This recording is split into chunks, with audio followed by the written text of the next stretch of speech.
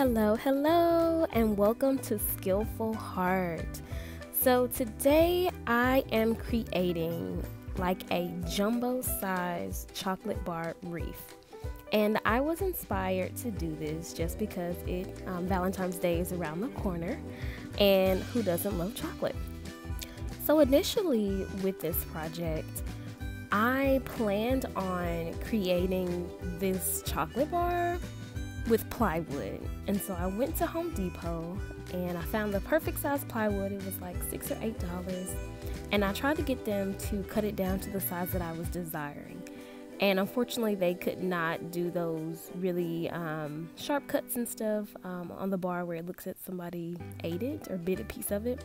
So they couldn't do that. So, what I recommend is um, if you guys plan on trying out this DIY project, um, get the plywood, right? You know, if you have a saw and you can cut it down to the size that you would like, work with that. I had to improvise and I bought a few canvas, um, like the 8 by 10 canvas boards from the Dollar Tree.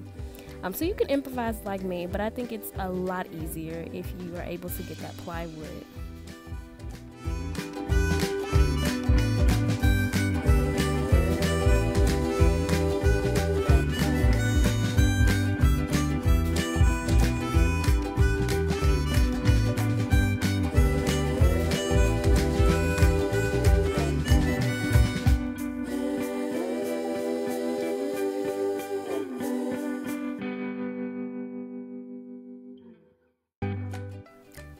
So here comes major improvising.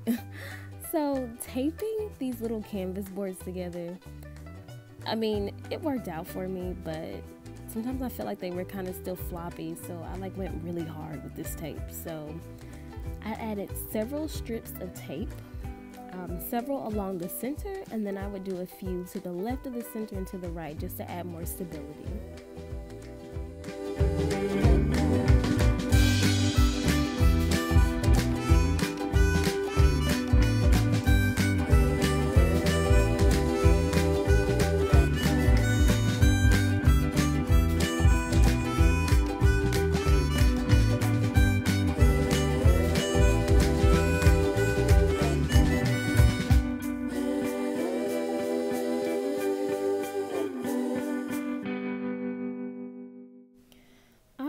So now those two boards are firmly together. I am now going in and drawing a line, and this line right here will be the wrapper, where the wrapper is torn, okay?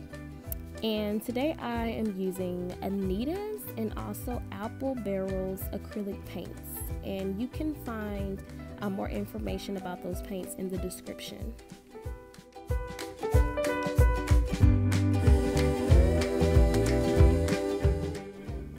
The way, for the actual color for the chocolate of the chocolate bar, I did some mixing, right? Um, so you'll see that a little bit later on in the video. But this color right here that I am painting is mixed. There was a particular brown that I wanted and the um, Hobby Lobby did not have it. So um, I got two browns and put them together and made it work.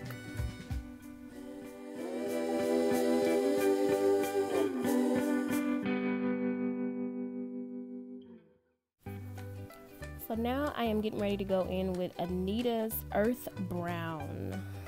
Um, and this will be the wrapper for my Hershey's bar.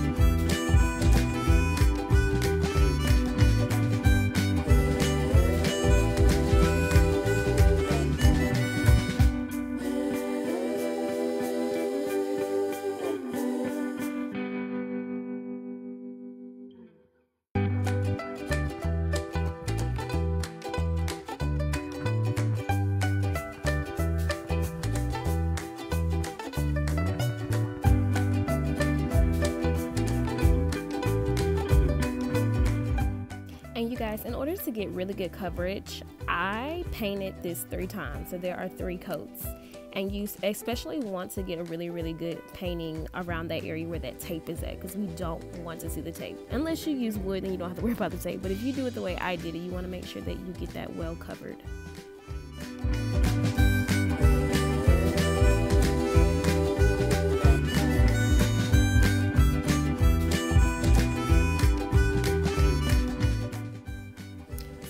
Am going in um, with some more Anitas and then my apple barrel gray. And I am getting ready, I'm mixing those colors up and I'm getting ready to detail that wrapper. So this is kind of the, the very end of the wrapper where it's torn. So it kind of has a grayish whitish look. Um, a little later in the video I'll go in with some white detailing.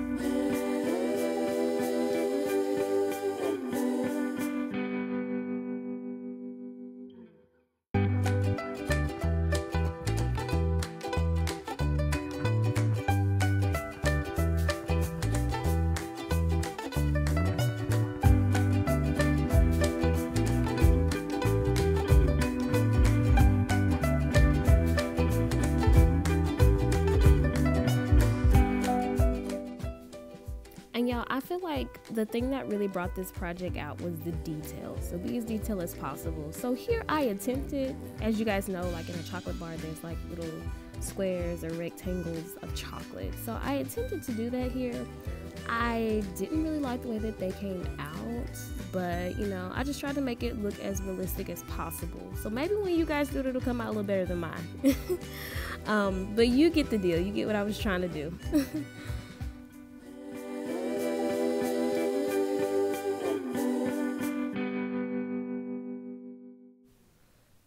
And y'all, this was probably the most tedious part for me. Um, so I am not a painter whatsoever. I'm a lot better just with drawing with a pencil and pen or something like that versus an actual paintbrush. I feel like paintbrush takes a very steady hand, um, stable hand, and I'm a little wiggly and wobbly. so, um, so what you're gonna see is I am freestyling, freehanding the letters on this Hershey bar.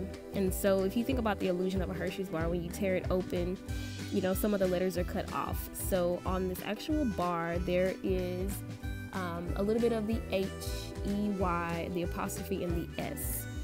Um, and so all these letters are freehanded, no stencils. And you'll see how I clean it up a little later. I kind of go in with the background color, that earth brown, and I clean up around the edges, okay? Um, so if you're like me, you're not that great with a paintbrush. I promise you, you can make it work. The, but the main thing is you have to get it painted on the board first, and then you kind of go in and clean it up towards the end.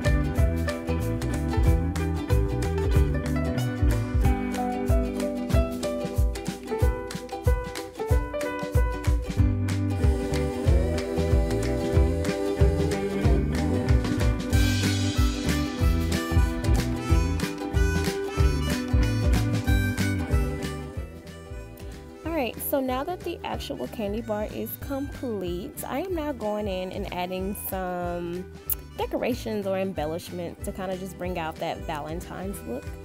And so on smaller pieces of canvas boards, um, which are also from the Dollar Tree, I am adding hearts. And so I have a large one, a medium, and small size. And so I will be cutting these out um, with my I don't even know what this little tool is called. I'll look it up and put it in the description. Um, but I found it at the dollar store in the craft aisle and the Dollar Tree, and um, it was it worked really nice. It's almost like a box cutter, but it's not. It's for crafting, and it comes with different um, razors to use. So that's what I'm doing to get these out, and then I will follow up with some painting and detailing, and I'll get these glue gunned um, onto the Hershey's bar.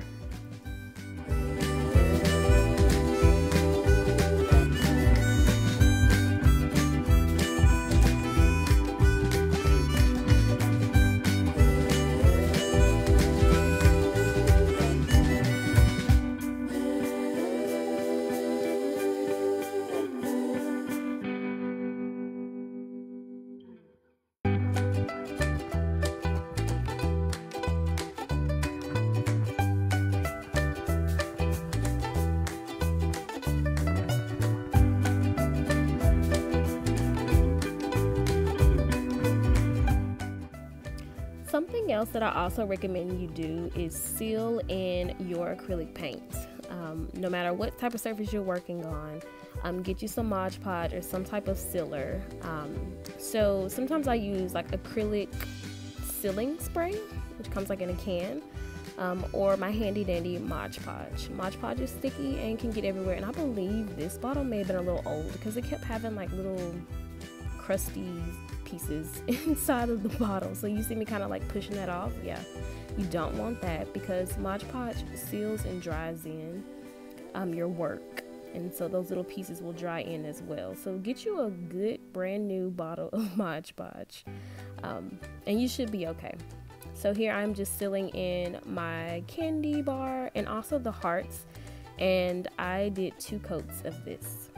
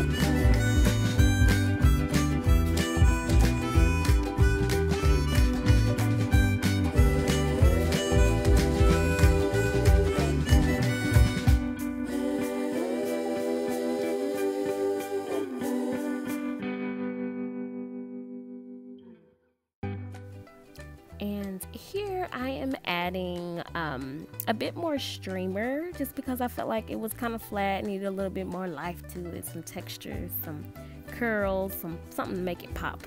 So this is my pop element. um, and so I am just um, gathering that curled streamer together and hot gluing it to the back.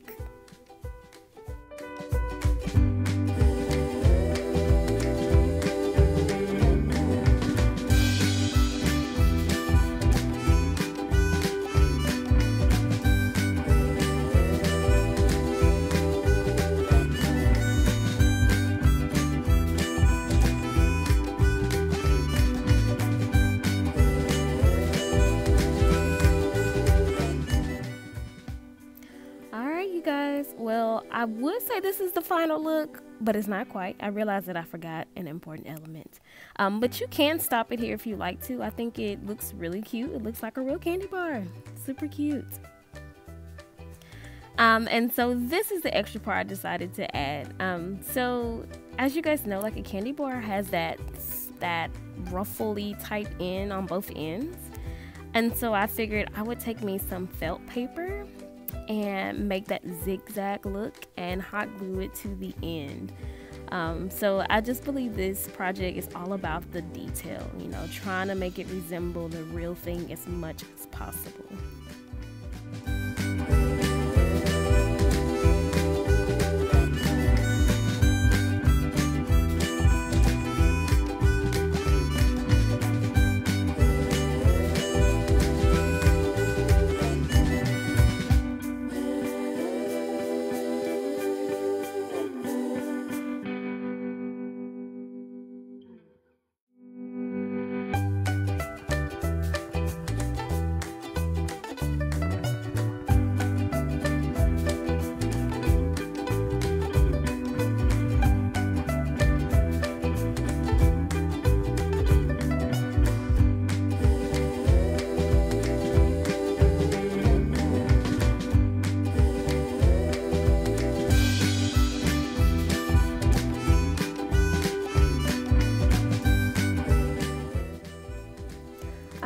So now we are down to the real final, final um, look.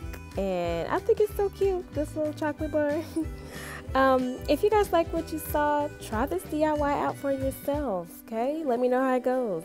Um, thanks for tuning in to Skillful Heart. Don't forget to like and subscribe. Have a blessed day.